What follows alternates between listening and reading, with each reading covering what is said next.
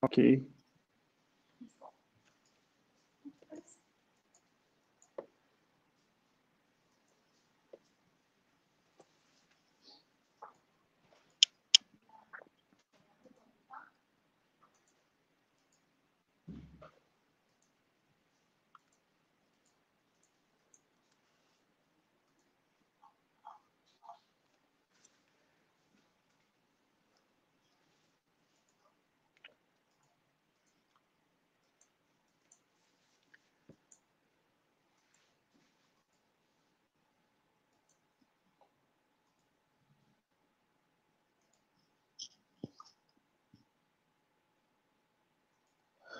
Bom, boa noite, pessoal.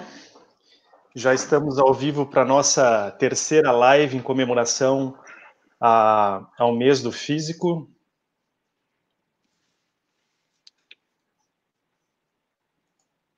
Amanhã é dia do Internacional do Físico Médico, né, no dia 19 do 5, em relação ao ano de 1905, o ano miraculoso de Einstein, que me acompanha aqui nas, uhum. nas lives, né, Pra, como o meu convidado sempre é, é, é uma celebridade, então para eu não ficar sozinho do lado de cá, eu sempre coloco o Einstein e o Roting aqui para me acompanhar, para dar um equilíbrio aí durante a live, tá? E hoje eu tenho o prazer aqui de receber um parceirão nosso, um cara que tem uma, uma, uma um cara super gente boa, super querido no meio da, da física médica, é, tanto pelo seu conhecimento quanto pela sua humildade, tá? Então, Márcio, seja bem-vindo, tá, meu caro? E pode se apresentar aí o que que tu faz hoje em dia, onde é que tu está e como é que está a tua atividade física médica. Cara, antes de mais nada, prazer falar contigo, apesar da distância aí, né? São uns 1.200, é, 1.300 quilômetros de distância, né? ainda bem que tem a tecnologia que nos ajuda. É, agradecer o convite para participar dessa live, né? Uh, deixa eu até afastar um pouquinho aqui para não entrar dentro do, da tela do, de todo mundo aqui. Beleza. E realmente, né, a gente começou essa parceria aí foi em que ano mesmo? Foi em 2000 e 2010, Cara, 2011 mais ou menos, que vocês começaram lá conosco, né, fazendo serviço. A gente se conheceu através do Thiago, Isso. né, que é outro figuraça, foi meu colega de faculdade. E assim, cara, eu tô para me apresentar um pouco, muita gente já me conhece aí, a gente, né, principalmente por ter vindo de Porto Alegre, onde tem uma, uma referência em física médica muito grande né, no, no país. E engraçado que eu vim parar em Brasília muito por um acaso, assim. Eu vim para cá em 2005, on, exatamente ontem, fizeram 15 anos que eu estou na clínica, né? E engraçado que, assim, eu trabalhava com, com ressonância magnética, praticamente, tomografia, fazia algumas reconstruções de imagem, coisas desse tipo. E casou dos da minha mãe, né? Minha mãe ser funcionária pública, funcionalismo federal, e ela veio transferida para cá, para Brasília, né? Então, eu, por querer ficar perto da família, tudo, eu acabei mandando um currículo para uma clínica aqui. E é engraçado porque a nossa referência do Sul, não sei se em Florianópolis tu tem essa mesma impressão. Hoje, com o mundo globalizado, é um pouco diferente, né? Mas a nossa referência é muito São Paulo, né? Uh, então, assim, ah, tudo que teoricamente acontecia de melhor na área médica, os melhores equipamentos, né? O, uh, a melhor forma de, de trabalhar, a nossa referência era São Paulo. Quando eu vim para Brasília, eu me surpreendi com a estrutura da clínica. Você teve a oportunidade de conhecer lá, é uma estrutura muito grande. E vim com uma experiência como fosse fazer só a reconstrução de imagem na época, que era o que eu fazia, né? E, cara, eu tive muita sorte, eu costumo dizer, né? Hoje eu sou gerente da clínica, né? Tomo conta de um de torno de 30, 35 funcionários, é, cuido, né? Participo bastante das questões de reuniões administrativas, né? E eu tive muita sorte porque quando eu cheguei na clínica, muita coisa começou a acontecer, não só na área médica, mas na área de medicina nuclear, houve, né, tive a oportunidade de encabeçar o primeiro e trabalhar junto com outras pessoas dentro do primeiro ciclotron privado, né, que foi instalado no país. A gente foi o primeiro lugar no Brasil a trazer o PET-CT, né, fora do eixo Rio-São Paulo, que antes era uma coisa muito restrita. Então, quando eu cheguei com essa experiência, eu, me vi obrigado a estudar e me vi obrigado a aprender sobre isso, né?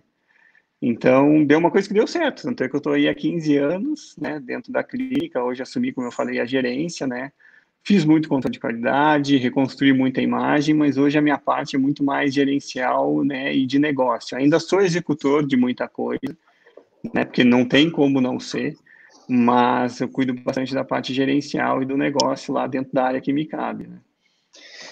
Ótimo, Márcio. E é isso que é legal tu comentar, entendeu? Toda essa, teu, essa tua passagem dentro da clínica, os, os graus de evolução técnica foram, e foram. administrativa que tu foi crescendo, e é, e é por isso até que tu foi convidado aqui para essa live, né? Porque o nosso objetivo aqui é falar um pouco mais do papel do físico, além do teste, além do cara que está lá dentro da clínica executando, não minimizando, obviamente, porque eu faço isso, a minha empresa faz isso, não, mas a gente quer uh, sair um pouco dessa, desse tipo de discussão e ampliar a discussão para um patamar onde o físico é executivo, é gestor, administrador, é presidente. Hoje a gente tem físicos aí inseridos na, na comunidade uh, da, da, saúde, em alto, altos graus de executivo, é, é, é, gerindo uma quantidade de pessoas, sendo responsável por equipe, por tecnologia, né? Então, esse é o, é o, é o principal objetivo de estares aqui, trazer esse ponto de vista. Eu sei também que tu participa de diversos é, eventos pelo mundo, né? Está sempre envolvido com a, com a possibilidade de aquisição de tecnologias inovadoras. Eu sei que vocês têm uma, uma, uma referência aí no Brasil em ser primeiros a adquirir uh, vários tipos de tecnologia. Então, é importante estar sempre na ponta, né, nesse tipo de negociação. Então, o, o Ô, Márcio, antes de eu começar a fazer as perguntas para ti aqui, né, vou uhum. fazer uma breve introdução, né? Hoje a gente vai falar sobre o futuro da física médica na medicina nuclear tá? É, e a gente tem como subtítulo, né, medicina nuclear contaminando outros ambientes, no bom sentido nesse contaminando, Sim. né? A medicina nuclear está entrando em outras áreas da saúde que até então ela, ela não tinha espaço, né? E eu acredito que vai entrar muito mais até quando ela sobreviver, né? A gente não sabe até quando sobrevive. Eu tenho algumas posições assim mais é, como eu posso dizer, extremistas, sabe, sobre o uso das radiações ionizantes na medicina. Ah, então, Sim. a gente sabe que, a, a, a, obviamente, o casal Curie e Becquerel foram os grandes responsáveis né, pelo descobrimento, pelo entendimento da emissão de energia do núcleo de materiais instáveis, né, essa energia nuclear, a energia que vem do núcleo. Foi primeiro até chamado de energia atômica, mas depois que veio o raio-x, é, focou na energia nuclear, porque o raio-x sendo da eletrosfera também é uma energia atômica, é uma energia que vem do átomo, né? E a gente sabe também que um dos grandes responsáveis por essa evolução na quantidade de materiais manipulados radioativos que a gente tem na sociedade foi a Segunda Guerra Mundial e a Guerra Fria, né? Onde Sim, lá uhum. Estados Unidos e Rússia começaram a brigar pela corrida armamentícia para quem dominava a bomba atômica, né? Então, aquele mal que a, que a energia nuclear trouxe num determinado momento no passado para a sociedade, hoje como consequência, ela traz como um grande é, benefício, né? É imensurável as pessoas que já foram salvas em uh, função da medicina nuclear hoje, em detrimento das pessoas que morreram no passado. Não estou, obviamente, justificando, né? Foi uma consequência disso aí, né? E esse mercado, ele vem se estruturando, né, Márcio? É, no Brasil, hoje, nós temos em torno de 500, instituições, 500 instalações, de medicina uhum. nuclear. Uhum. Né? Os números que eu vou falar aqui, eles são, obviamente são arredondados, né? eu não tenho... Eh, se alguém tiver algum número mais exato, por favor, pode avisar aqui no chat, a gente vai corrigir. Tá? Mas eu, digo, eu penso que eu vi que 4% do mercado mundial é o mercado brasileiro, é um mercado pequeno ainda, em função da população do Brasil, né? São em torno de 3 Sim, milhões... Grande é, 3 milhões de procedimentos por ano, tá? É, um mercado mundial de fármaco, de radiofármaco, a gente está falando entre 6 e 8 bilhões de dólares, né? Um mercado gigante. Né? O norte e, tende a, e, e, com propensões a crescimento, no, no meu ver. Né? É, a média de crescimento que ele vem, é, né, vem seguindo é em torno de 5% uh, ah, ao ano, né? E o norte-americano domina essas tecnologias, principalmente na, na, na detenção dos, da, da, da, dos radiofármacos, né? E não seria muito diferente em função da que a gente acabou de falar da, da busca, né, por, por radionuclídeos e tal.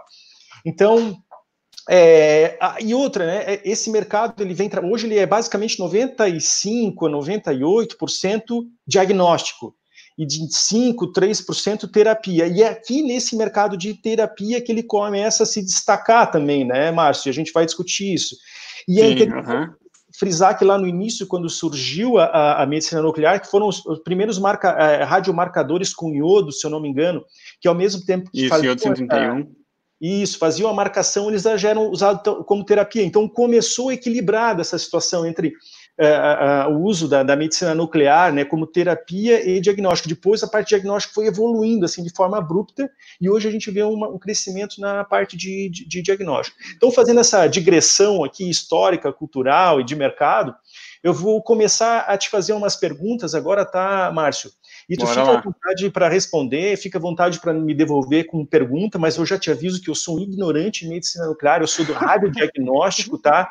Se eu piso dentro da medicina nuclear, eu só levo pau, tá? Então, assim, toda vez que eu vou na clínica de medicina nuclear visitar um cliente ou acompanhar os nossos físicos da medicina nuclear aqui, eu tô, eu tô numa aula, entendeu? Eu tô aprendendo alguma coisa, tá? Então, Márcio, é, o que mudou na medicina nuclear desde que tu, o que tu percebe que mudou desde que tu começou a atuar nesse setor? Vamos lá, então. Uh, primeiro, como eu te falei, né, meu, a minha formação acadêmica e durante meu período de estágio e até um pouco profissional, eu não tive muito contato com a medicina nuclear, mas tive um pouco de contato. Trabalhei num hospital grande em Porto Alegre, fiz estágio, né, que num hospital grande, que era o Hospital das Clínicas, e depois tive a oportunidade de ir para o Hospital Moinho de Vento, que era outra referência. Então, assim, tive muitos amigos trabalhando com medicina nuclear e conhecia muito pouco de medicina nuclear. Né? Em 2005, quando eu vim para a clínica, né, e houve essa necessidade de um físico que eles não tinham na época aqui em Brasília assumir essa parte, até para tocar a parte do processo de PET-CT e ciclotron, eu comecei a me envolver. Então, assim, se a gente pegar historicamente, 15 anos tem, é um tempo, mas não é um tempo tão grande com relação ao que a gente já evoluiu, né, e que a gente acompanhou. Eu me lembro que em 2005, quando eu cheguei, a, a, a gente começou a conversar sobre a possibilidade de ter o PET-CT, né, e aí começou aquela conversa, putz, PET-CT, PET-CT, como é que vai fazer? A dose tem, é altamente perecível, como é que vai trazer de São Paulo? Será que é viável comprar um equipamento desses? Se comprou o equipamento, né? Nossa surpresa, tinha dias que nós íamos até uma hora da manhã fazendo exames, né? E por ser um lugar pioneiro, não só fora do eixo de São Paulo, mas também como tecnologia, né, a gente começou a ver o desenvolvimento da medicina nuclear de uma outra forma. Por exemplo, serviços aqui em Brasília que faziam, entre aspas, PET-CT, eles utilizavam uma câmera de coincidência. Então, eles faziam o quê? Eles faziam flúor numa câmera, né, usavam flúor é, dentro de uma, de uma, de uma equipamento de cintilografia e depois faziam matematicamente a fusão das imagens com tomografia. A primeira evolução grande que eu vejo foi essa chegada das imagens híbridas, que isso realmente foi uma coisa que mudou até do ponto de vista de negócio. Tá? Uh, a gente começou, por exemplo, a fazer negociações com convênios, né, mostrando a diferença entre o que a gente tinha até então e o que a gente passaria a ter, né, em termos de qualidade de diagnóstico tá? Uh, depois veio, logo em seguida da aquisição do equipamento, veio a quebra da emenda constitucional, né, que foi a emenda constitucional número 49, lá de 2006, né, onde até quem, quem estimulou tudo isso foi um, Acho que na época era um senador até do Rio de Santa Catarina, o Jorge Bornhausen, não sei se tu conhece, já ouviu falar. Sim, sim, sim. Uhum. Né? Então, assim, essa foi a segunda grande evolução que eu vi, fato, o fato de permitir que entidades privadas produzissem material radioativo de meia-vida curta, tá? E aí vem uma outra história, né, Valmer? Tu é um cara que também é empreendedor, né? Vamos dizer assim. Tu sabe que todo empreendedorismo, principalmente iniciar com o empreendedorismo da parte privada, não é fácil. Então, assim, era um investimento muito alto da parte de botar um ciclotron. E aí, assim, pô, será que isso vai se pagar? Né? Então, assim, a gente viu que, por exemplo, colocando o ciclotron, a quantidade de serviços de PET-CT que, a gente, que apareceu no Norte, Nordeste e Centro-Oeste simplesmente, assim, absurdamente aumentou, né? Uhum. É, então, essa foi a segunda grande é, ação que me chamou a atenção, assim, né? Que foi ver que, à medida que a gente consegue disponibilizar novas tecnologias, realmente tem gente que se interessa e procura por isso, né? E quando eu entrei em 2005 na medicina nuclear também, eu me lembro que havia uma conversa do tipo, putz, a medicina nuclear vai evoluir para onde? Sendo que está chegando ressonância, tomografia aí com múltiplos detectores, né? Era um exame demorado, é um exame que teoricamente não te dá uma rentabilidade tão grande do ponto de vista de retorno que o convênio te paga, tu tem que fazer um volume muito grande de exames, né? Uh, e, por incrível que pareça, a medicina nuclear se reinventou. Então, PET-CT, durante uma época, foi a nova ressonância magnética. Né? O pessoal queria comprar PET-CT para colocar. Para tu ter uma ideia, a gente recebeu visita de fazendeiros do interior de Manaus, querendo botar PET-CT na, naquela região. Digo, pô, mas como é que tu vai viabilizar isso? Então, assim, a gente é muito claro com relação a isso. Tem coisas que não dão para viabilizar, mas houve esse interesse, né? E as coisas foram evoluindo, né? À medida que a gente foi vendo a questão farmacêutica também, a gente começou a perceber que, pô, tá aparecendo um monte de novos potenciais radiofármacos, né? Então aí entrou o flúor ainda hoje é o mais utilizado, mas a gente já está trabalhando com outros aí como o galho, né? A gente tem, por exemplo, alvo para poder produzir amônia, né? Para fazer é, perfusão miocárdica, viabilidade miocárdica, tá? Então, assim, tem muita coisa que pode acontecer ainda, né? A, a gente no Brasil ainda está, vou dizer assim, bem engatinhando com relação a isso. Como tu falou, o mercado, os Estados Unidos é um mercado super é, bem estabelecido com relação a isso. Se não me engano, eles têm quase 6 mil, 7 mil serviços de medicina nuclear. Já vamos tá? chegar então, lá assim, né, nessa, nesse é, comparativo. É. Né? Então, assim, a, as evoluções que eu vi foram principalmente essa. A medicina nuclear está toda hora se reinventando. Sim. Né? E tu acabou de falar, por exemplo, de uma a gente gosta de falar, né? É uma novidade, uma antiga novidade, vamos dizer assim, que é o caso da uhum. teranóstica, né? Uhum. Então, assim, há 50 anos atrás já se fazia teranóstica.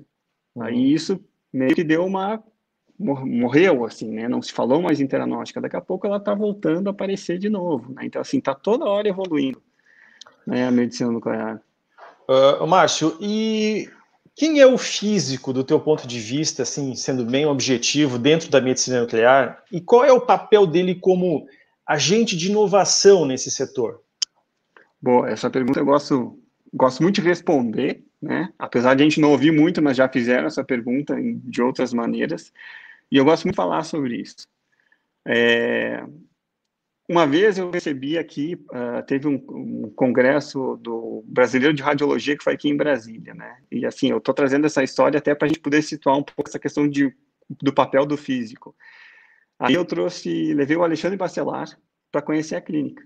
E comecei a explicar para ele o que eu fazia lá dentro, porque assim, ele foi meu, meu primeiro chefe, vamos dizer assim, né? Meu, um dos meus orientadores pra, na profissão. De muitos. E ele definiu. Né? De muitos, né? Mas é. assim, eu comecei a conversar com ele explicando quais eram as minhas ações lá. E aí o Alexandre veio com uma definição muito legal para mim, que eu achei assim, Márcio, para mim tu é o físico médico, cara. E existe o físico clínico. Entendeu? Porque o que, uhum. que diferenciou? O físico clínico é um cara extremamente necessário, que é aquela pessoa que de repente está lá fazendo controle de qualidade, vendo como é que estão teus equipamentos, gerenciando tuas máquinas. E o físico médico é aquele cara que está pensando no negócio, está pensando no processamento de imagem, está estudando anatomia, está vendo como é que a clínica num todo se comporta. Eu acho que isso é uma visão, até para a gente conhecer tecnologia, né, Valmir? Não falta tecnologia computacional, mas conhecer a tecnologia de imagem, a gente tem muita facilidade de entender o negócio como um todo. Pelo menos eu me vejo assim, sabe? Então, assim, eu acho que hoje o papel do físico gestor, esse físico que está comandando o negócio, é um cara que pode ajudar, sem exagero, desde a marcação do exame até a entrega do diagnóstico. Entendeu? Passando por várias pontas. Como, pô, a gente está vendo aí que tem vários físicos trabalhando com o sistema RISPAX, por exemplo. Então, é uma pessoa que já entende do, como é um fluxo de atendimento dentro da clínica. Né? Então, assim, pô, que, que detalhe que eu preciso dentro do meu sistema RISPAX, por exemplo, né, falando especificamente de uma área como medicina nuclear, que envolva desde a marcação do exame até a entrega do resultado final desse exame. Né? Então, a gente consegue fazer esse mapeamento, a gente tem uma visão do todo. A questão de gerenciamento tecnológico é muito importante, porque a gente sabe que hoje, né, hoje que eu falo é antes da pandemia um pouco e até agora, junto na pandemia. A gente sabe que a situação econômica do Brasil não é boa, a gente está vendo o dólar, o preço que está, muitos equipamentos não são nacionalizados, então a gente paga por ter esse preço. E a gente sabe, por exemplo, que os convênios cada vez mais estão tentando reduzir custos, né? E quando a gente fala em reduzir custos, é diminuir o valor da CH, tá? É, então, assim, o repasse é pequeno. Então, assim, é uma contrapartida que não fecha. Como é que tu vai investir em tecnologia? Que daqui a pouco tu tá num patamar aqui em cima de valor, quando o teu repasse está aqui embaixo. Onde eu acho que a gente entra nisso? Por exemplo, pô, quero comprar um, uma gama câmera, um spec CT. Ok, a gente tem spec CT que custa desde 600, 700 mil, até com alguns que custam 2 milhões de reais. Né? Como é que a gente vai viabilizar isso? Se a gente for ver por serviços que querem se destacar, eles querem sempre tecnologia. Mas aí começa aquela questão do preço, né? Opa, vamos ver, qual é o nosso tipo de cliente? Né? Uhum. Quem que a gente vai atender? Qual é o nosso carro-chefe? Vai ser cintilografia de miocárdio ou daqui a pouco a gente vai atender de uma maneira mais abrangente, trabalhando com outras especialidades? Então, acho que a gente entra muito nessa questão da avaliação tecnológica, porque daqui a pouco não precisa ter uma tomografia de 16 cortes no meu espectro CT, basta uma tomografia de dois cortes com um tubo de 2.5, 3.2 MHU. É, entendeu? Eu posso, posso, fazer até um parênteses, eu sempre falo, claro. né? Eu tenho um discurso bem claro sobre inovação, né? O pessoal acha que inovação é comprar uma ressonância de 3 Tesla. E me desculpem os vendedores, os fabricantes, eu não estou é, é, diminuindo a tecnologia em si. Não, mas isso é tecnologia, isso não é inovação, entendeu? Isso é empreendedorismo. E outra, não necessariamente aquele equipamento de ponta ele te atende. Eu já vi vários clientes é, relatando fazer downgrade, entendeu? Porque comprou uma máquina claro. não servia para essa estrutura dele, ele não ia pagar nunca aquela máquina, tá? Por, por, todos esses motivos, inclusive vários que tu falou. O plano, ele não te diferencia hoje pela, pelo modelo, pela marca, pela energia do teu equipamento, né? Ou pelas características técnico, técnicas e físicas deles. Ele te, ele te, te, ele te, te é, é, é, é, quantifica pelo, pela tua entrega, pelo exame que tu entrega, né? Então, assim, é, isso é bem interessante, a gente sempre levantar essa discussão, né, para mostrar que a gente pode trazer, agregar situações em outro processo, processo da jornada do paciente dentro do hospital, o conforto dele, tecnologias que trazem é, é, é bem-estar, né, não necessariamente claro. a, a, o equipamento de ponta, tá? Uh, Márcio, e continuando aqui, meu caro, tu estava falando em mercado e tal, eu acho que dá para encaixar com esses números que tu falou, né? É, me diz uma coisa, qual é a relação hoje em números, né, o que, o que tu conhece do mercado nacional com o mercado internacional, tá? Comparando, por exemplo, com países como Estados Unidos, Argentina, que tem uma, um viés, assim, bem interessante que é, o Brasil ainda está muito deixando a desejar, né? É, então, vamos lá, assim, minha visão, né, e um pouco do que a gente acompanha de visitas em congressos, conversas com médicos que já trabalharam fora, fizeram fellow fora, é, Estados Unidos sempre vai ser nossa referência, vamos dizer assim, né? De modelo para tudo, modelo de tecnologia, modelo talvez de negócio, modelo até de remuneração, aspas, remuneração e outra que eu gosto de falar muito, mas com um pouco de cuidado, que é a questão de legislação, né? Então assim, eles têm uma certa flexibilidade para algumas coisas que nós aqui não temos, né? Tanto é que, por exemplo, Uh, hoje, se a gente for comparar em números, então, se eu não me engano, os Estados Unidos está na, tá na, faixa de 7 mil serviços de medicina nuclear. Tá? A gente está na faixa de 405, ó, que o Arthur até colocou, né? São 452 instalações, segundo o site da Serem. O Artus. Tá? Ou seja, Artus é, é, o Artus é nosso físico aqui na Artus, da, Artus, desculpa, da medicina é, nuclear. Artus, Isso. Né? Então, assim, é uma diferença exorbitante. E a gente está falando de um país que, se a gente for pegar em termos de extensão continental e número de pessoas, de população, né, de habitantes, não é tão diferente assim, né? Uh, então, assim, eles têm uma oferta muito grande. Claro que a tecnologia para eles tem um valor que a gente não paga, né? Mas tudo bem, essa é uma situação que daqui a pouco a gente quer se comparar, busca chegar, mas que a gente não chega. Mas vamos pegar a Argentina aqui do lado. A Argentina tem um reator já funcionando há 45 anos fazendo material radioativo, né, para uso em medicina nuclear. E nós? Entendeu? Nosso reator multipropósito, que teoricamente teria estar pronto em 2020, né, foi no final de 2000, metade de 2018, se eu não me engano, que foi assinada Uh, né, a, foi inaugurado lá a pedra fundamental numa cerimônia, né, dizendo que vai receber não sei quantos milhões, 700 milhões, 750 milhões de, de reais para investimento. Mas, assim, é um projeto que até agora, infelizmente, está moroso. Eu acredito muito nele, mas infelizmente está moroso. Né? Então, assim, a gente já está falando de, de, de locais próximos aqui a nós, né, países que têm uma situação até semelhante, vamos dizer assim, mas que tem um pouco mais de desenvolvimento, acredito eu, nessa parte, né? É, e muita coisa para o Brasil foi muito nova, né? Por exemplo, 2005, 2006, quando houve quebra do monopólio da União, né? Pô, como é que a Anvisa vai regular sobre isso? Não tinha norma pronta, não tinha resolução pronta, não tinha portaria pronta. Né? Até que, assim, as normas e as resoluções das portarias estão sendo toda hora revistas, né? Claro, aprimoradas, mas revistas. É, se a gente for pegar, por exemplo, o número de instalações de radiofármacos, né? Produtoras de radiofármacos. Então, no Brasil hoje nós temos 10 ciclotrons operacionais, se eu não me engano, né? Autorizados para a produção.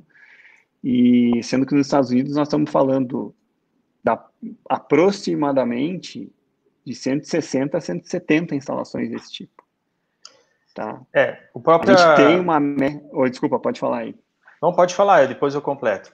É, uh, se a gente for pegar em número de doses, por exemplo, né, uh, tem uma empresa chamada PetNet, não sei se você ouviu falar da PetNet, ela é uma subsidiária da Siemens, se eu não me engano, né, era uma antiga empresa que a Siemens acabou uh, adquirindo, eles entregam só de FDG, segundo eles, um milhão de doses ano.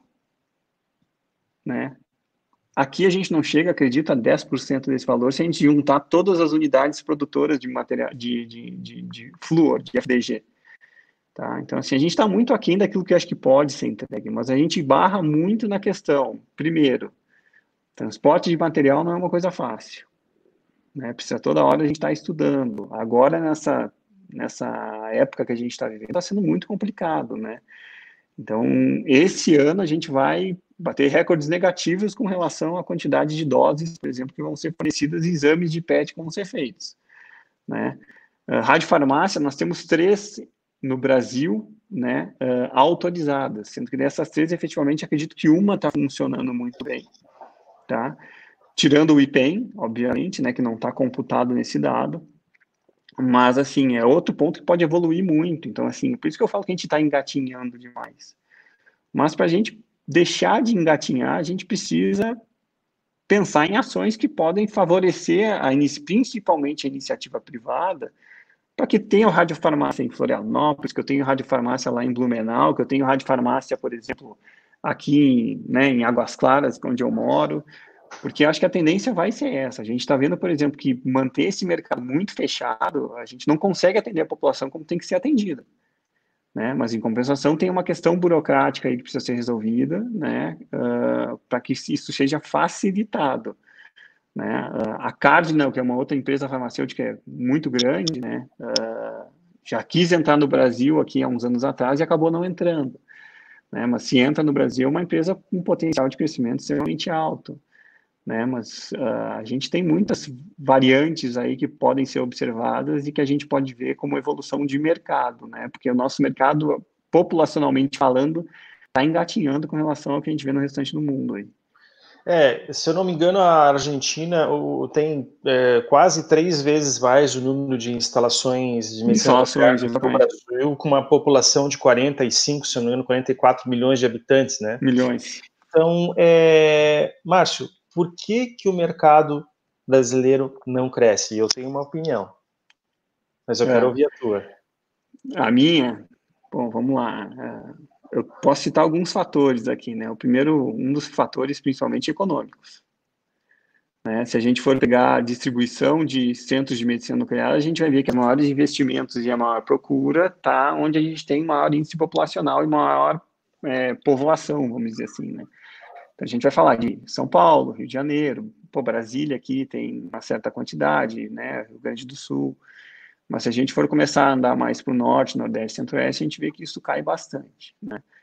Segundo ponto é a distribuição geográfica. Nossa distribuição geográfica, hoje, da forma como a gente tem a distribuição de material radioativo, não, é, não favorece muito. Tá? Então, esse é um outro ponto. E, claro, outra coisa que acho que vale muito é a questão de investimento. Fazer um investimento em medicina nuclear é um, é, não, é, não é tão barato. Vamos pensar assim, né? Porque a gente não está falando só de uma estrutura física, a gente está falando de profissionais, por exemplo. Se a gente for pegar o número de de profissionais que estão certificados hoje na CENEM, é, talvez esses profissionais, até pela distribuição que a gente vê deles, não consigam atender vários centros do país.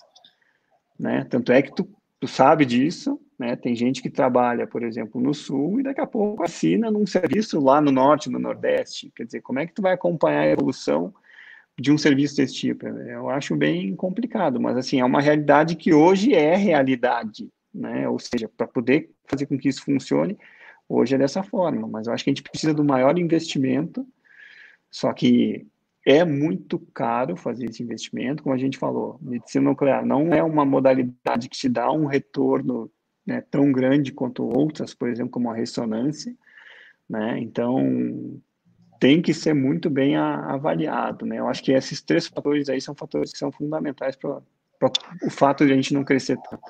É, é, essa questão da, do, dos profissionais que assinam por serviços, isso, essa picaretagem é um problema sério que a gente enfrenta e enquanto a gente baixar a cabeça para isso, Márcio, não vai se estimular com que físicos se qualifiquem para serem supervisores, entendeu? Então, é, é, é eu acho que a gente tem que ter uma postura também e, e, em muitos casos até denunciar esse tipo de, de, de, de, ação, entendeu? A gente tem que ser mais proativo, né? Eu tenho certeza que dependendo do estado, as autoridades sanitárias ou a própria Senem toma providências em relação a isso aí, tá? Mas, cara, eu, eu acho que o seguinte, eu acho que o, que o, que o setor, ele tem muito a crescer, né? Em comparação com mercados que são similares ao nosso, nosso ainda a gente está aquém, muito aquém. Muito, eu, eu, muito eu, aquém. Destaco, eu acho que o transporte a gente consegue resolver. Eu acho que eu destacaria três situações que me, me, me, me acho que chamam mais a minha atenção, que é a gestão das clínicas de medicina nuclear, cara. Normalmente é o um médico nuclear, ele que abre, ele que toca tudo sozinho, ele que decide. Cara, Isso. medicina não, não é gestão entendeu? Medicina não é administração. E aqui eu não estou falando daquele médico que se qualificou para ser gestor, aí é outra história, que não é a nossa realidade entendeu? Então, gestão eu acho que é uma coisa fundamental. Várias fundamental. vezes eu, eu vi uh, médicos abrirem centros de medicina nuclear sem ter feito um business plan, cara, um pelo menos planejamento estratégico, sem saber a quantidade de procedimentos por dia que ele ia precisar, para fazer, precisar fazer só para pagar é, a, a, estrutura rodando, entendeu? Então, isso tem Vamos que ter, é fundamental. Pode falar. É, não, até bom tu ter falado sobre isso, porque assim, quando eu cheguei em Brasília em 2005, uh, uma das coisas que me chamou a atenção muito foi essa questão de gestão. Né? Então, por exemplo, eu tinha servi tem serviços grandes aqui, né? Mas a gente via, por exemplo, a gente que vem de uma realidade, vinha de um hospital que tinha Joint Commission nível 2. Ou seja, né, a gente está falando de uma parte de segurança, está falando de ISO também que o hospital tinha, ou seja, todos os processos já eram muito bem desenhados. E aqui, até para o Brasília ter uma realidade de convênios ainda diferenciada com relação ao resto do país, se ganhava muito dinheiro. Né? Só que, por exemplo, a gente está vendo aí a chegada de Ciro Libanês, é, Redidasa, que já tem uma expertise de negócio muito diferente, não só da uhum. parte de planejamento, como tu falou, da parte de gestão, porque daí sim a gente está falando de médicos, gestores que veem o negócio como negócio, isso, né? Mas também da parte de atendimento. Então, realmente, serviço de medicina nuclear é, sempre foi, ao meu modo de ver, dentro da área de imaginologia, um dos serviços que mais pecou pela falta de gestão. Basta ver o que aconteceu na, na primeira crise do Tecnécio. Uhum. Então, né? é. E, e continuando. Se a gente for pegar a primeira crise Uhum. Pode falar. Se a gente pegar a primeira crise do Tecnécio, uh, quando disse, não, não vou mais te fornecer com a, com a atividade que eu te fornecia, mas uh, como é que eu vou atender meus pacientes? Né? E eu me lembro uma vez até conversando com o Tiago aí, o Tiago me contou um pouco da história, disse, Márcio, eu tinha gerador de dois e meio durante a semana, daqui a pouco eu comecei a receber, receber um gerador de um, e eu me vi na necessidade de reprogramar minha agenda, E, cara, por incrível que pareça, deu certo. A gente conseguiu atender o mesmo número de pacientes com um gerador com uma atividade mais do que 50% inferior ao que eu recebia. É, então, assim, pô, a gente está falando de gestão aí. Gestão então, de radiofarmácia, né? De gestão de radiofarmácia. Uhum. Né? É, a parte de, de, equipamentos, né, é outra parte de gestão, que nem eu te falo, às vezes vem um vendedor lá e te vende mundos e fundos, não, esse é o melhor, esse cristal é isso, esse cristal aquilo, tem, um equipamento tem duas cabeças, faz coincidência, resolução energética, mas, cara, tu vai precisar de tudo isso, né? Tu falou do uhum. downgrade, a gente acabou fazendo um downgrade aqui uma vez, porque se comprou um equipamento que, até, que não estragou, entendeu? Por quê? Porque é aquela coisa meio megalomaníaca e até a falta de conhecimento na parte de gestão, então acho que a, a medicina nuclear tinha muito disso, ainda tem, mas eu acho que esses serviços eu vejo duas soluções, né? E é uma, das, uma delas está acontecendo. A gente está vendo grandes grupos vindo em serviços menores e comprando as operações. Sim. Ou seja, eu ainda sou dono, mas a operação já não é mais minha. Uhum. Né? Uh, então a gente começa a falar um pouco mais de qualificação e de gestão, gestão de negócio. Uhum. E a outra questão é, infelizmente, não se sustenta. É. Ah, então, é, é, continuando a raciocínio da, da, do meu ponto de vista, de, de por que, que não, não, não é um mercado que tem muito aquém e tem muito a crescer, que é colocar uma gestão é, é, é com, com, com, profissionais realmente que têm visão desse mercado, entendeu? Que entendem ele, que se estruturam antes de fazer o investimento.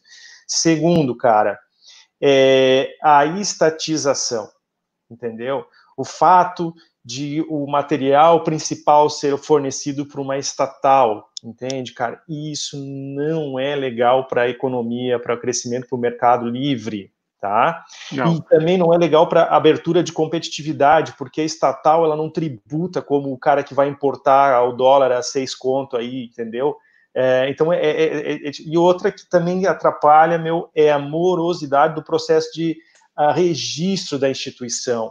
Cara, a, o órgão competente ele tem que pensar que aquilo ali é um gerador de emprego e de riqueza para a sociedade fora, que é o principal, o objetivo principal, que é, que é entregar um, um, um benefício uh, dentro da área da saúde, que é um diagnóstico de uma possível doença que possa ser tratada, ou até mesmo a terapia, que possa ser eliminada em tempo hábil. Né? Então, além de benefício que aquele empreendedor está trazendo para a sociedade com uma nova aplicação, ou uma aplicação a mais, entendeu?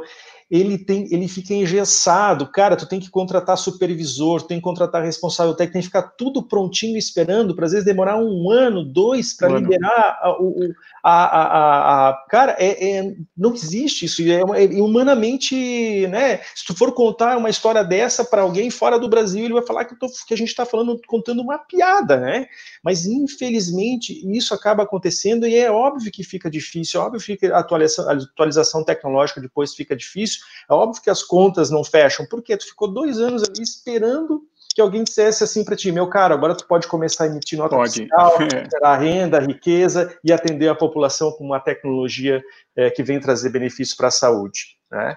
É verdade. O, assim, eu, eu, ao meu ver, por exemplo, a, a gente que está sujeito a mais de um órgão regulador, né?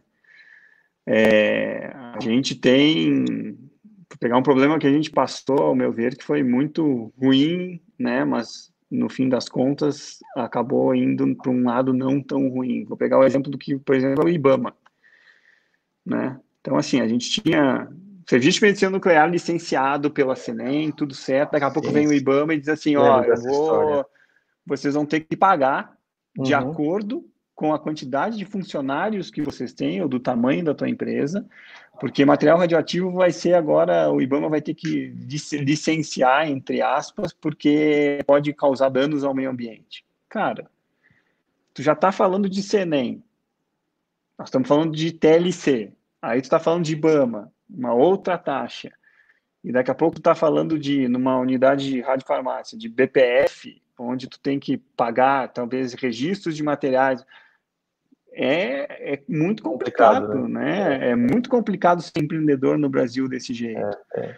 Tá? Então, é, é, realmente essa questão de, de, de, de, licenciamento tem que ser mais simplificado. E isso é, até uma das coisas talvez nos diferencie de outros lugares. Porque, por exemplo, nos Estados Unidos, se isso não fosse tão fácil, tu não teria 300 instalações desse tipo, entendeu? 400 uhum. instalações desse tipo. A gente não está falando de medicina nuclear, de instalação produtora de é. material radioativo. E é, aí a gente tem mais o, o, restante, né? É bom destacar que a facilidade não é sinônimo de fazer tudo, uh, entendeu? Fazer mal feito.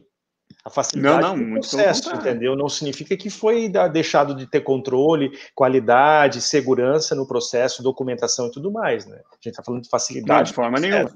Não de é, benefício ou deixar de fazer o controle.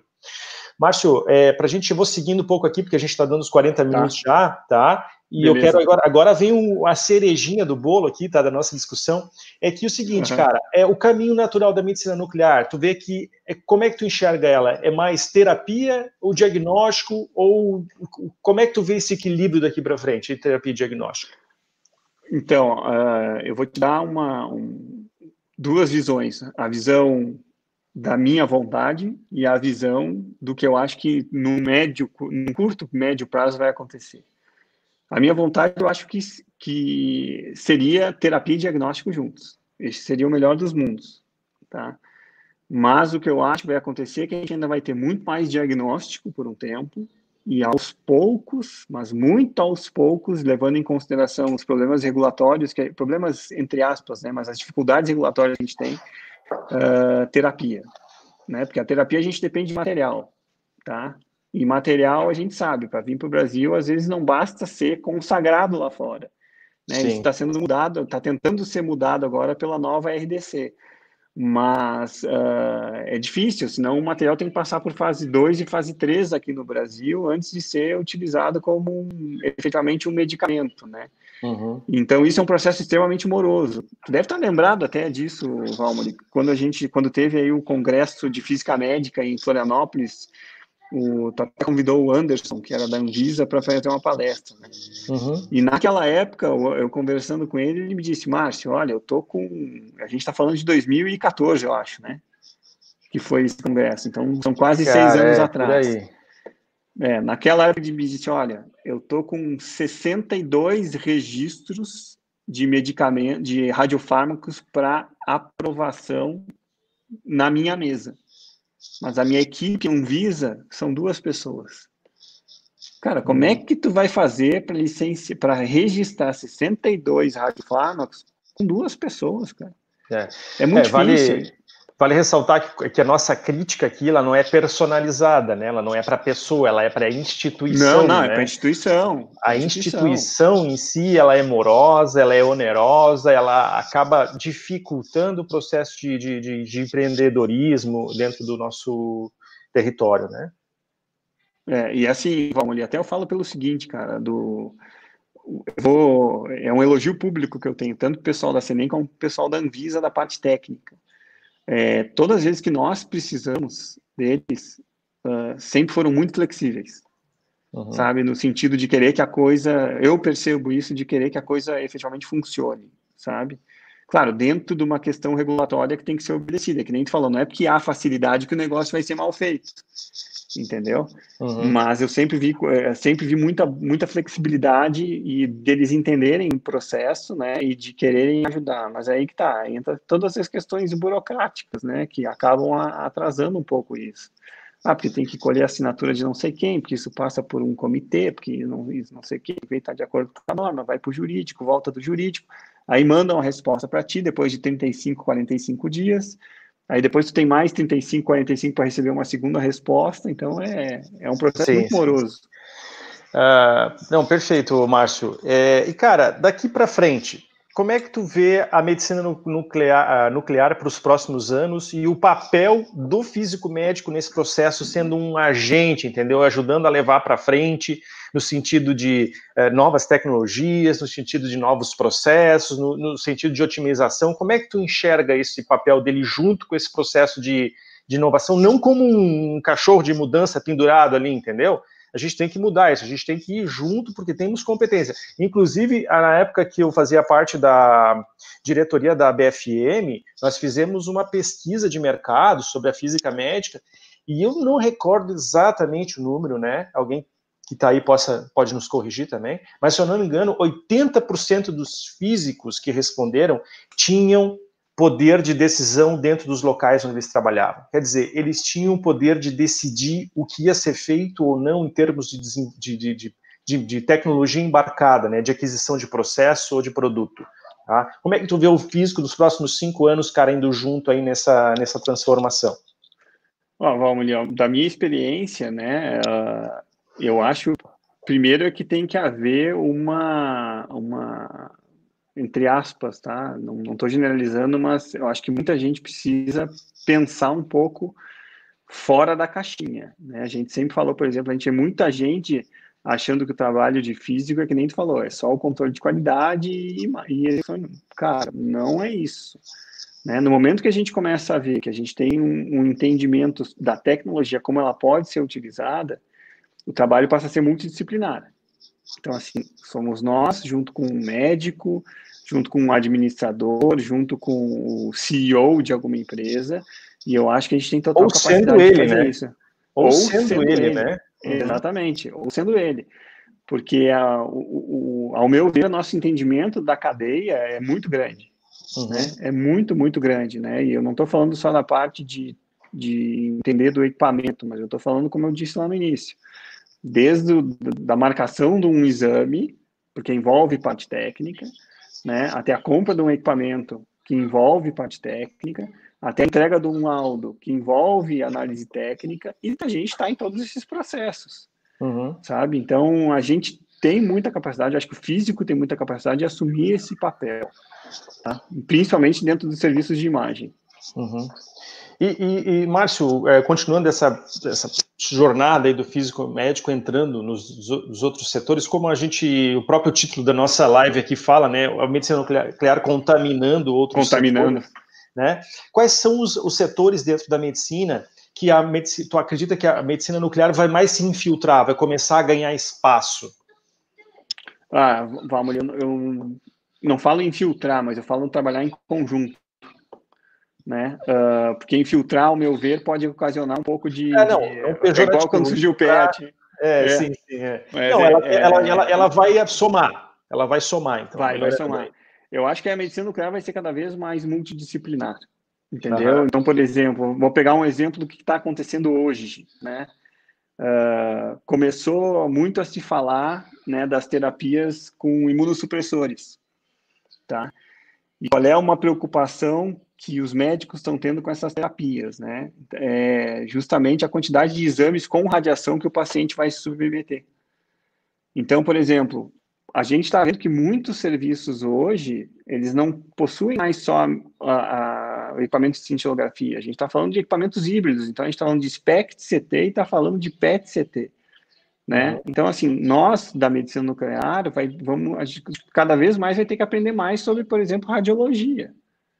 Né? Então, isso seria uma forma de se infiltrar e aí entender o negócio como um negócio multidisciplinar, trabalhando como, né, uh, com, com cooperação, tá? É, então, eu acho que a medicina nuclear vai caminhar muito para isso, né? Uh, pô, nos congressos a gente vê já, por exemplo, grande participação da medicina nuclear em congressos de radiologia, por exemplo. Né? Então, tá, as coisas estão começando a deixar de ser só medicina nuclear e só radiologia para começar cada vez a andar mais junto, né? Uhum.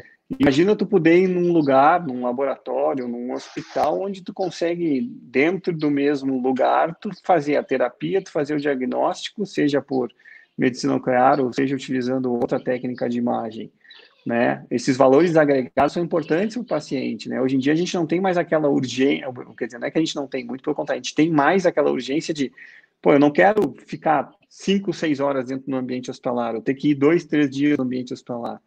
Né? Então a gente está trabalhando cada vez mais para tornar a coisa mais efetiva. O meu o que eu vejo do futuro é a, a tornar essas coisas cada vez mais efetivas. Uhum. Ah, tá, então tu, tu vê que a, a radiologia é uma, uma, uma, área que, é, na verdade, quando, com, o advento do PET-CT, ela já começou a, é, é, projetar um caminho, né? Mas eu digo assim, ó, em outras modalidades, como por exemplo a oncologia, entendeu? Outra neurologia, ah, é. É, como é que tu vê a oncologia, médica, a medicina nuclear entrando nesses ambientes e, e o físico médico é. contribuindo? Então, a oncologia é um caso muito real, né? Porque, por exemplo, a gente está vendo cada vez mais grupos de oncologia sendo formados e os grupos querendo fazer, é, é, vamos dizer assim, algum tipo de, de, de cooperação com os serviços de medicina nuclear. Uhum. Né? Então, por exemplo, aqui em Brasília a gente já tem há um bom tempo reuniões né, da, da de, de, médicos nucleares com patologistas, oncologistas acontecendo a todo instante. Né? Então, por exemplo, essa questão da, dos pacientes que fazem imunossupressão é uma conversa que surgiu em uma dessas reuniões multidisciplinares. Então, eu acho que qual é, seria o papel do físico? O papel do físico seria, por exemplo, um cara que conhece de imagem, conhece de dosimetria, conhece do negócio, pô, vamos de repente dizer para aquele oncologista que, vem cá, será que a gente não consegue, talvez ao invés de fazer exames de dois em dois meses esse paciente, a gente fazer talvez um exame diagnóstico, postergar isso para mais um mês, utilizar um protocolo de baixa dose no, no, no, estudo de acompanhamento, ou então daqui a pouco, ao invés de fazer um PET, por exemplo, de corpo inteiro, né, onde vai ter uma tomografia de corpo inteiro, a gente tentar reduzir essa área uh, para diminuir a exposição. Né? Então, acho que o nosso papel vai ser entrar com esse tipo de informações que muitas vezes a, a o pessoal desconhece, né? Uh, uhum. Então, acho que a gente vai trabalhar cada vez mais junto com essa. Por isso que eu falei multidisciplinaridade. A gente vai trabalhar cada vez mais de uma maneira multidisciplinar, ajudando todos os tipos de profissional. Né? Às vezes, por exemplo, a gente sabe, pegar um exemplo que pode acontecer, né? Tem médico que a gente sabe que olha por exemplo, ah, eu vi uma publicação que, sei lá, ressonância magnética do tórax é bom porque não tem radiação. Cara, existe uma limitação do método. Né? A mesma coisa vai acontecer para a medicina nuclear. Talvez vão ter coisas que vão ter limitação do método e que cabe a nós né, explicar isso para quem está muitas vezes pedindo o exame, dizendo: olha, talvez isso não é tão efetivo. A gente pode pensar numa outra possibilidade. E aí vão surgir trabalhos, vão surgir novas cooperações. Márcio, é, depois a gente responde a pergunta da Patrícia que eu já coloquei na tela aqui, tá? No final, tá. tá? Mas antes disso, eu vou agora fazer uma provoca provocação aqui, cara. É, uhum. Primeiro, assim, ó, o que, que tu acha que está vindo de tecnologia nova que ninguém sabe ainda que tu acha que vai chegar daqui a pouco no mercado, que tu já percebeu, que tu já viu, que vai começar a cair no mercado como uma, uma bomba, assim? Na parte de medicina nuclear? É. Cara, vou ser muito sincero, tá? Uh, tenho ido ao RSNA nos últimos quatro anos, três, quatro anos. Em termos de tecnologia, de equipamentos, eu não vejo nada que seja um, considerado uma quebra de paradigma. Não tá vejo. Mais no, material, tá? provavelmente. Hum, é, mas eu acho que o que vai vir, a gente vai se surpreender muita coisa é com a quantidade, talvez, mas aí, que nem eu falei, a gente depende de questões regulatórias, é, a quantidade de possíveis materiais né, radiofármacos que a gente vai ter para uso em medicina nuclear, tanto a parte de terapia como a parte de diagnóstico. Tá? E aí, se isso realmente acontecer, vai ser necessário uma expansão de negócio. Uhum. Vão ter que surgir radiofarmácias, vão ter que surgir centros especializados, vai ter que sair da mão da, da, da, da estatal, né? Porque a gente está vendo que isso vai ser uma realidade lá fora né? E já está sendo uma realidade lá fora. Então aqui a gente precisa trabalhar para que isso aconteça. Então acho que a, a, parte de desenvolvimento e o que a gente vai se espantar mais vai ser com esse crescimento da parte de terapia e diagnóstico. É, no ano passado já, já, já, já aconteceram aí três, se eu não me engano, grandes aquisições, né, fusões no setor de empresas eu, europeias com empresas americanas e tal. Inclusive, nesse, uhum. ano no Brasil já teve uma grande movimentação de uma empresa que teve uma aquisição é, exatamente. No, setor, né, que isso, querendo ou não, movimenta o mercado, né, isso dá uma, né, uma, uma, um borbulho, a gente não sabe realmente aqui que, se os números são como são divulgados, mas é uma movimentação, isso beneficia o mercado, entendeu? Isso traz uma, uma, um, um empurrão, né? E as farmácias centralizadas, Márcio, tu acha que vai, isso vai virar uma realidade em todo o país ou tu acredita que isso ainda tem um bom espaço ainda para ser é, é, como posso dizer, é, é, conquistado, né? Não, isso tem muito espaço para ser conquistado, né? Muito. E assim, até pegando um pouquinho e respondendo, acho que isso ajuda a responder um pouco da pergunta da Patrícia aí, né? Uh, o que, que, a gente está vendo hoje na pandemia? A gente está vendo que a distribuição de material radioativo está extremamente dificultada. Extremamente. Porque muito material que é altamente perecível uh, precisa de transporte aéreo. Né? Se a gente for pegar agora, a malha aérea reduziu 80%, 90%. Então, né, tem voos que saem às vezes à noite de um lugar que não vai dar tempo do material radioativo chegar para ser utilizado para o serviço de medicina nuclear. Então, acho que vai acontecer uma necessidade, vai não, né, é uma necessidade muito grande que os serviços de medicina nuclear, as empresas que querem investir em medicina nuclear, pensem nessa questão da radiofarmácia, porque isso deve ser uma necessidade e a gente vai tender a distribuir doses muito próximas de onde a gente está é, efetivamente alocado, tá? É, mas, claro, precisa de investimento, né? É, a medicina nuclear já passou por outras recessões ao longo da história, né? Não sei se como essa, mas já passou. Então, assim, a questão de... Hoje a gente está vendo, até saiu uma reportagem, se não me engano, semana passada no Globo, que diz que em torno de 60% a 70% dos pacientes oncológicos deixaram de procurar seus médicos por conta da pandemia. Tá? Então, assim, pô, a gente está falando de paciente oncológico, que daqui a pouco está fazendo um tratamento e precisa ver como é que está a resposta desse tratamento. Então, eu acho que o mundo pós-pandemia, medicina nuclear pós-pandemia, ainda vai demorar um pouquinho para que os pacientes se sintam seguros e ir nas irem nas clínicas e nos hospitais procurar. Né? Isso é uma coisa que está inerente a nós. A gente talvez não possa ajudar muito. O que a gente possa fazer é a divulgação de como é que a gente está operando. Mas, assim, a gente vai sofrer e está sofrendo um pouco nesse, nesse período. Difícil prospectar alguma coisa com relação a isso. Márcio, e o físico na radiofarmácia centralizada? Descentralizada, então, desculpa, né? Descentralizada, né? Isso. É, então, acho que vai ter um papel fundamental, cara. Fundamental. Não vai ser só como supervisor, não.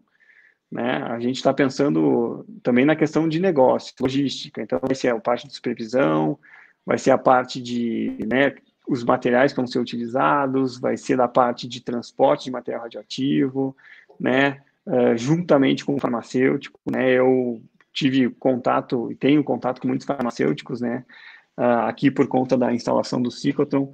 Então, assim, o que a gente agrega para eles é o tanto que eu acho que eles agregam para nós, né? Então, a gente vai, acho que o físico vai ter um papel fundamental nisso com relação a, a difundir essa, essa radiofarmácia centralizada, né? não só do ponto de vista da supervisão, mas também, como eu falei, do ponto de vista de negócio. Tá? E é um uhum. campo a ser explorado, viu, Val? É um campo a ser muito explorado. Uhum. Né? Tem uma pergunta aqui do Fernando. Eu te confesso que eu acho que a gente já falou sobre isso. Ó. Ele perguntou: existe uma tendência da produção de radioisótopos em aceleradores? Como essa tendência deve se comportar no Brasil? Como o setor de medicina nuclear observa esse movimento? Então, uh, o Brasil, acho que, não, o, acho que a medicina nuclear observa esse movimento, sim. Tá, mas a gente está falando do, da sociedade da sociedade como um todo, né? Médicos uhum. nucleares. Só que assim, a gente tem que ver a outra ponta, que é a parte de quem produz. Uhum. Tá? Existe sim já, uh, principalmente no Canadá, né? Já tem uma empresa bem consolidada que produz material radioativo a partir de ciclotron, tá? Só que a gente está falando aí de um investimento FOB da faixa de 20 milhões de, né, de dólares. Tá? 10 a 20 milhões de dólares pelo que eles prospectam. Inviável hoje em dia. Né? É, e, e é. tu registrar um processo desse novo no Brasil, aí tu coloca mais dois, três anos de delay aí para começar a operar. Para poder começar a operar. É, é. é. Depois tudo pronto, né? O... Exatamente. E a é. outra questão é com relação a isso, é porque a gente sabe que em algum momento essa, essa chave vai ter que virar, porque a maioria dos reatores que a gente tem no mundo aí são reatores já de 40, 50 anos de, vovozinho, né? É. Exatamente. Então, assim, uma hora não vai sustentar. O Brasil veio, ao meu ver, um pouco na contramão daquilo que vai ser tendência mundial, que é o quê? Pô, o Brasil vai botar um reator multipropósito. Vai ser importante? Vai. Talvez para nossa realidade. A gente está falando que daqui a pouco nos Estados Unidos, no Canadá e na Europa, em poucos anos, a tendência vai ser produção de material radioativo não a partir de reatores, sim a partir de ciclotrons, né? Uhum. Porque tem a questão da proximidade, tem a questão de né, tornar a operação mais fácil, tem a questão de segurança radiológica, tem a questão de instalação física que vai ser diferente. Né? Então, acho que a gente está indo um pouco na contramão disso, ao meu ver. Tá. Márcio, é, o nosso tempo está se esgotando, tá, meu cara? Eu sei que a gente tem mais coisa para falar aí, mas eu queria encerrar te fazendo um super agradecimento aí, tá? Eu acho que foi um, foi um papo bem legal, bem dinâmico. A gente falou sobre o mercado, a gente falou sobre perspectivas, a gente falou sobre tecnologia, a gente deu as nossas, uh, colocou as nossas opiniões também visões, na mesa, né? Uhum. É, e visões. Cara, muito obrigado, tá? Se quiser fazer um Eu agradeço o convite aí, aí de novo. Cara. Tá, Pode eu falar. queria agradecer de novo o convite, né? Se precisar, estamos aí, só chamar para a live que a gente vai, né? Sem problema nenhum. E assim, cara, realmente a gente vê aqui uma hora passa rapidinho, né? De tanto assunto é, que tem, é, tá? E se eu puder deixar algum recado aí, né, para todo mundo, é aquilo que a gente conversou, né, Val? A gente tem, nós como físicos, acho que a gente tem muita capacidade de, de explorar novos ares aí dentro da área médica, né? Não ser só aquela pessoa que diz, né? Tu já deve ter ouvido isso, não sei quantas vezes, mas o que, que faz um físico, né? A gente tem muita coisa para responder sobre o que, que faz um é, físico, é, é. tá? Então, a, acho que tem muita coisa a agregar e explorar aí, todo mundo. E mercado Perfeito. acho que tem, viu? Perfeito. Cara, eu acho que estou acompanhando as nossas redes aqui simultaneamente. A gente teve mais de 150 pessoas passando aqui pelas nossas, pela Pô, nossa legal, live, legal. tá? Foi uma galera legal para né, para um mercado focado, para e também nós não somos celebridades, né, por enquanto, né, Márcio? Então foi um grupo... Ainda não, ainda não. Agradeço a todos que passaram por aqui, quem gostou, quem não gostou, por favor, pode criticar, pode sugerir. A gente eh, quer evoluir, quer cada vez mais se conectar aí com a, com a sociedade, mostrando o papel do físico médico, mostrando o que, que a gente pode fazer, tá? E tendo, colocando a nossa visão aí de, de passado, presente e futuro na mesa para para a sociedade. Beleza, pessoal? Muito obrigado Legal, a todos. Mãe. Obrigado uma vez, uma vez, Márcio. Amanhã, viu? Amanhã Pode a gente volta. Aí. Tá, amanhã a gente volta com o Ricardo Terini falando sobre a história da física médica. Amanhã vai ser uma viagem é, físico-filosófica pelo, pela, pelo mercado de física médica, desde a sua origem lá, né, até uma visão que a gente vai colocar também na mesa de futuro do físico médico. Obrigado. Legal, Valne. Valeu, Valeu. Cara, até mais.